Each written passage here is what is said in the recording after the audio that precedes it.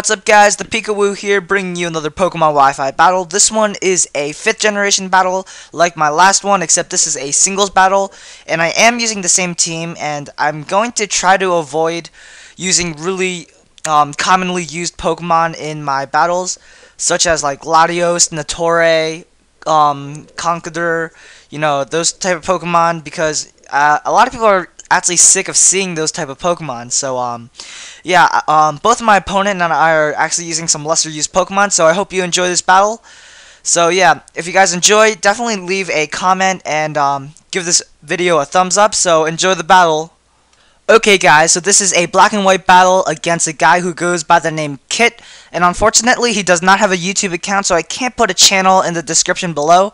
But anyways, this was a really nice battle. We're both using some lesser used Pokemon, um, no like really commonly used Pokemon such as Nattorei or Reuniclus. So um, yeah, anyways, I'm to lead off with Lucario. He's to lead off with a Steelix, but he goes for the flame flamethrower, which reveals that he is indeed a Zoroark, and that's going to be real nice because I am able to get a close combat off, and because he is a Life Orb set and not a Focus Sash set, I will be able to OHKO it.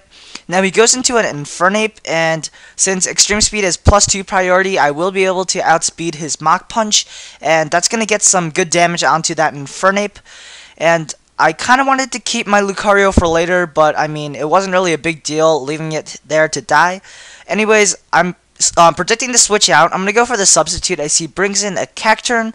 Really nice play because I can just go for the Focus Punch. And since that's super effective, and since Cacturne has garbage defenses, and since Azumarill has pure power and has beast attack, that's going to easily OHKO him. Except I tricked you because he has the Focus Sash, and um, yeah, he's gonna live the hit, and I'm pretty sure Cacturne has a higher base speed, and I don't carry um, speed EVs at all.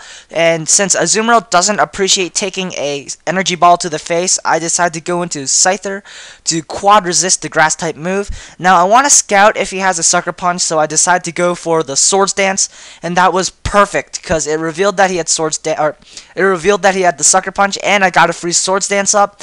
Now he goes into his real Steelix here, and I was predicting him to not um, go for the Stone Edge straight away. But he actually does go for it straight away, and that really sucks since it's four times super effective, and he gets a crit.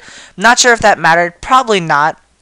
I mean, Scyther is pretty bulky, base 80 defenses with the Eviolite, and since um, Stone Edge isn't a stab, so um, I'm not sure if I could live. Probably, I probably couldn't have lived. I'll probably put a calculation um, on my Pikachu. Anyways, I go into Sazandora, since Sazandora is a beast Pokemon, and in hindsight, I should have just went for the Brick Break so I could break his uh, sturdy ability, and because I didn't, he is able to go for the Custap Explosion, get some damage off before um, taking himself down, and Custap um, Berry is actually illegal because you actually can't get it in black and white yet, it's not officially released, but that's really no big deal.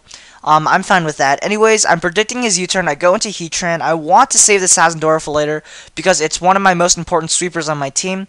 Now, I want to bait him in using the close combat because I carry the Chople Berry, and not many people carry the Chople Berry on the Heatran because most carry the Balloon, and I actually prefer the Chople Berry because there's um a lot of fighting type Pokemon in the OU metagame, such as uh, Conkeldurr, um, Infernape, a lot of Conjondo, a lot of fighting type Pokemon I can just take down with a Heatran after he hits me with a weakened fighting type move.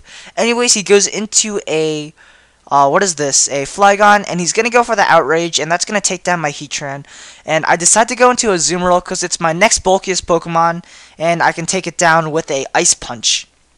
And yeah, that's really nice because Scarf Flygons are always a threat against my team because pretty much any Scarfer is a threat because they are really fast and can hit hard. Now he goes into a Wartortle, and um, that kind of sucks, but uh, I'm just going to go for the Waterfall, just get some damage before I die, but I get the flinch and that sucks for him because after Leftovers recovery I can take two more Surfs. And um, I decided to go for the Focus Punch just for the lulls of it, in case he goes for like Toxic or something, I don't know. And then I went for the Ice Punch, I didn't really want to, him to get another flinch because that would have just been really annoying for him. I would have felt really bad. But um, yeah, that would have been funny if I went for the ice punch, feeling bad for the flinch, and I got the freeze. But um, anyways, the hacks um kind of makes up for itself because I missed the seed flare. That really sucked. And then he has the protect, so I will be able to fall asleep due to the yawn. Now I have to switch out because I really don't want to. I know I have two Pokemon left, so it's bound that I'm gonna win because since Wartortle is his last Pokemon, so I just switch into Sazandora just to fodder him, so the match doesn't take really long. Um, I could have uh, really wanted to just uh, stayed in and just waited out the turns of sleeping, but I was lazy. So now I'm gonna go into my Shaymin, finish him off finally with a Seed Flare. That's gonna miss again, and he's just gonna use the same tactic. That really sucked because uh, my plan for making the shorter battle shorter actually failed, you know. Ah, uh, so that was really obnoxious, missing two Seed Flares in a row, but that was quite lolzy. Anyways, yeah, now the battle is kind of stalling. He's just going to go for the Surf, and that's not going to do much at all. Now, I'm still asleep, and he's still going to go for the Surf, and I'm going to wake up. Uh, hopefully, I will be able to hit a Seed Flare. And he goes for the protect here just to protect. I don't know why. And um, it's quite annoying that he is going to go for the protect because he's actually stalling out my PP for Seed Flare. I'm running out of a lot. I'm running out of my PP, but I went for the Seed Flare there. It doesn't KO, and that really sucks because this is a modest Shaymin with like 350 uh, special attack. No, I don't know how much it's special attack, but it has a good amount of special attack. Um, it doesn't have 350. That's not right. Anyways, it has like probably like 270 I don't know. Anyways it's a modest nature one and I didn't KO I don't want to miss my seed flare so I go for the hidden power fire and it doesn't KO at that point which was ridiculous. And now he's just gonna toxic stall me with protect and I actually might lose this. So um yeah that was a really bad play.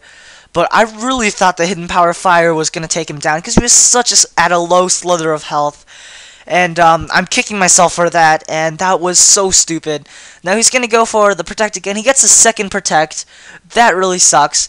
And um, Toxic is actually um, taking its toll on my Shaymin right now, and I can live one more Toxic. And if he if he hits the Protect here, he would have won. But luckily for me, his third Protect fails, and I am able to take him down. So that was a really close battle, and um, yeah, I hope you enjoyed the battle. The end was pretty epic. So um, yeah, guys, definitely um, stay tuned for more Black and White as well as fourth generation battles. I hope you enjoy this battle. Peace out, guys.